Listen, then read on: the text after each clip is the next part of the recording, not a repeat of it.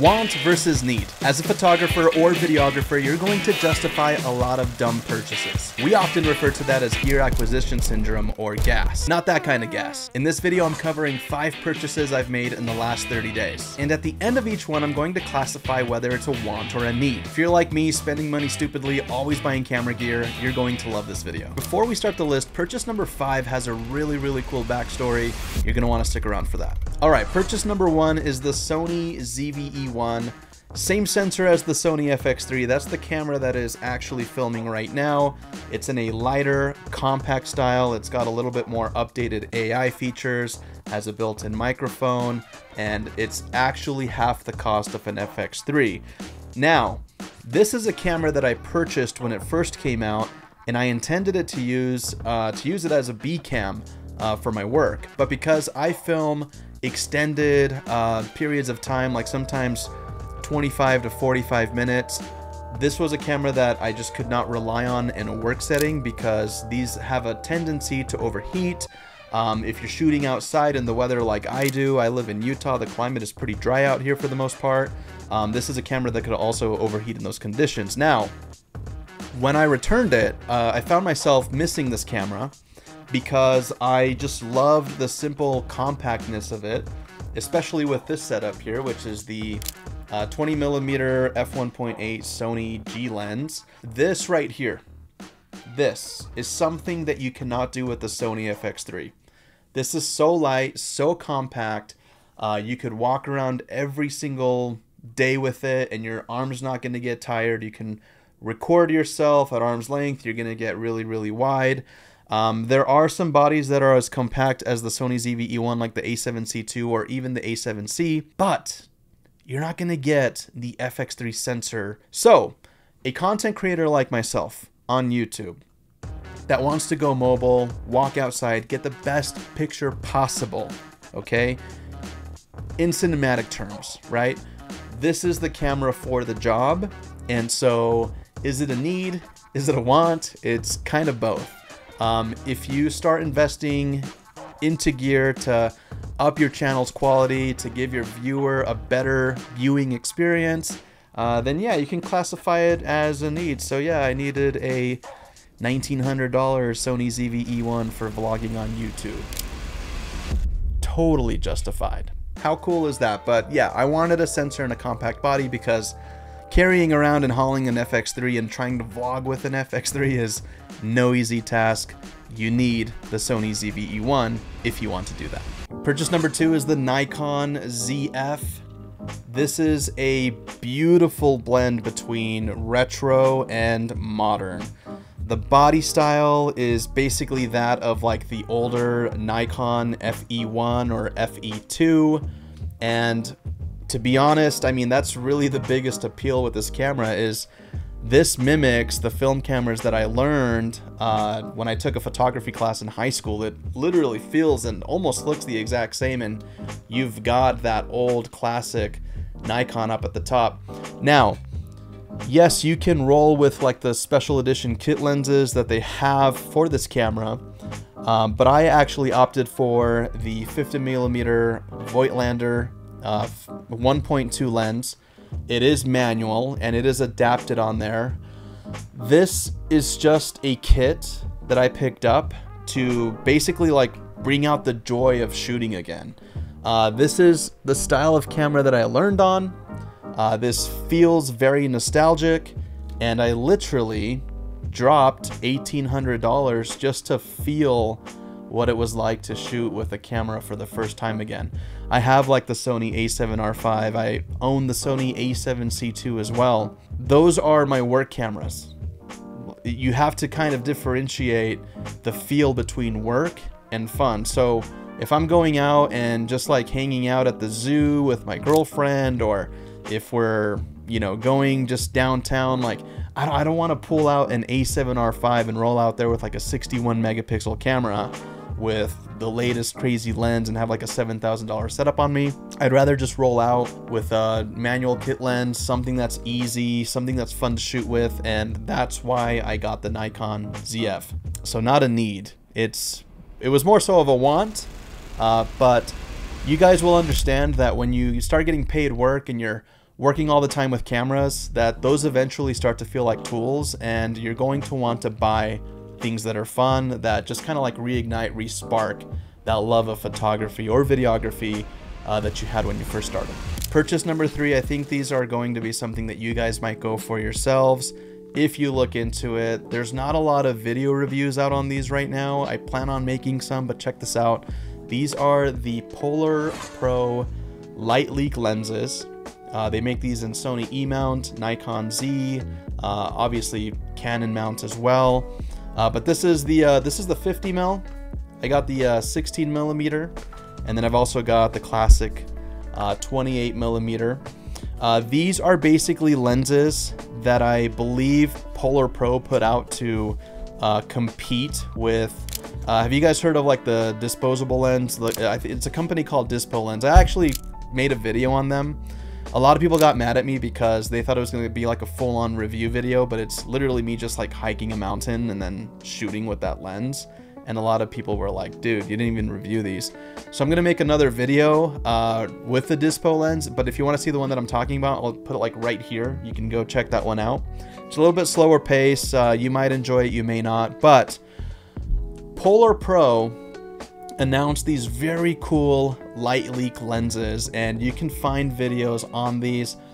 Basically it is a fixed lens okay? We're to remove the cap and the build quality on these. I'm to tell you like th these are already way better than the dispo lens but to be fair like these are a little bit different. For pricing context i know i'm just kind of like going everywhere this whole pack right here was $319. It wasn't a lot of money. You get three lenses. So these are fixed lenses. And what this ring does here is it's not a, you know, focusing ring at all. This actually dictates the amount of light leaks that it lets in. So it kind of gives you like that nostalgic, uh, filmic, uh, film burn that you would get with like older film cameras or maybe even disposable cameras. But these are going to be a lot of fun to shoot with and uh, these are definitely not a need. But if you're like me and you like to try out new things and get new looks and you like to maybe review products, maybe you're a creator yourself, you want to shoot more content around items like this, it's a great purchase and you never know. You might have a client that might fall in love with the look of something like this, or you could just keep this mounted on a separate body and just whip out when you're on a professional shoot and kind of experiment and get a different look or just like a different add-on for your client. Now, do you see how I justified that want purchase kind of into a need? That's the danger of being a photographer, videographer. You're always going to talk yourself into buying something because technically you could use it on a client shoot. But honestly, these are very, very rad. They look super, super cool. And there's a few videos out there. Again, Polar Pro Light Leak Lens. Go check it out. Some really, really cool videos out by a few creators and the brand itself. Purchase number four. This was a very sporadic, spare the moment purchase. I had a little bit of a credit at a local camera shop and I had some extra money to spend. And I quite frankly got really, really sick of waiting for the Fujifilm X100 6. Uh, I pre-ordered two of them. It's been a very long time. Anyways, if you guys know about that whole camera and how hard it is to get one, I got pretty fed up and I consulted with a buddy of mine who shoots with a Fujifilm X100V and he suggested that I get the Fujifilm X-T-50.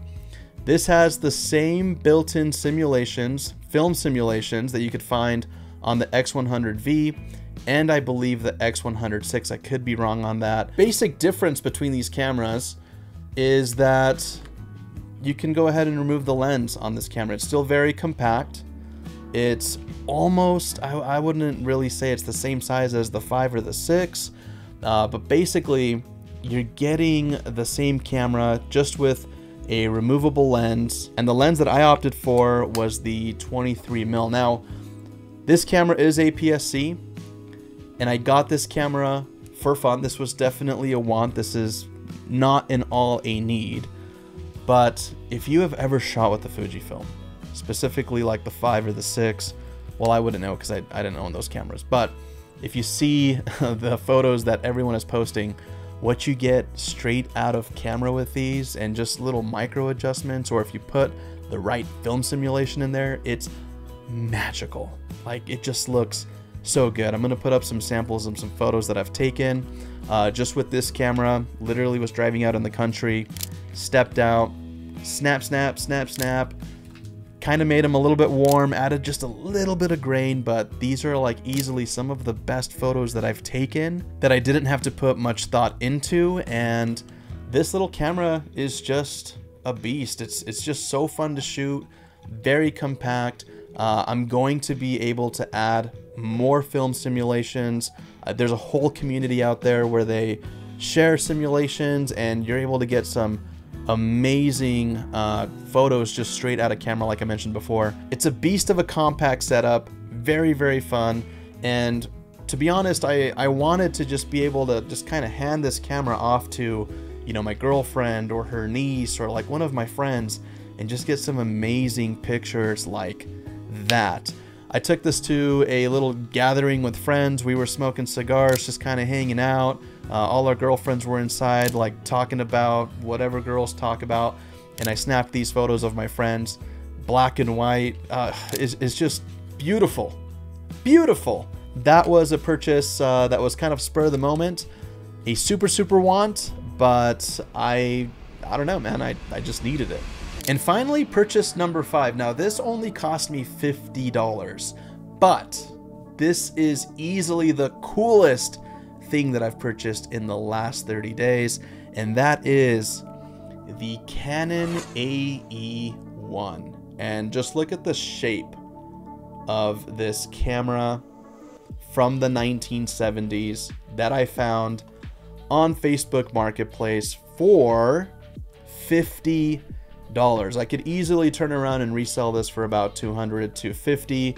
This is the Canon AE1 program camera, so actually, if you wanted to just kind of let it roll auto, uh, this is like a very consumer-minded camera that Canon put out, where they just wanted it to be really easy and operable in people's hands.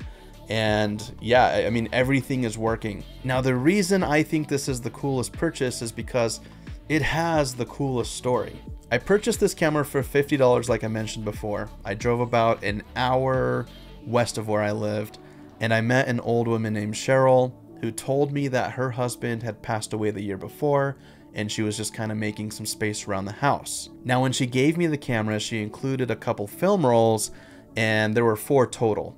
And she said some of them may have been shot, some of them are probably new and have never been used. So here's what I intend on doing. I've already taken the rolls to be developed and I plan on taking any photos that maybe Cheryl's memories back to her. Uh, she's unaware. She doesn't know that's going to happen. And I don't even know if there are any photos on those rolls. Those memories belong to her. And if there's a photo of her husband anywhere in those rolls. The $60 that I paid, whatever the number's going to be, I honestly owe it to her to take those back to her and make sure that those are in her hand. So the rolls will be ready in a week. I'm pretty excited. I don't know what's on those photos, but hopefully there are some memories that belong to Cheryl that we can get back to her. So make sure you're subscribed because once I get those photos back, we're going to open them in real time and see what those memories are. And we're gonna take them back to Cheryl.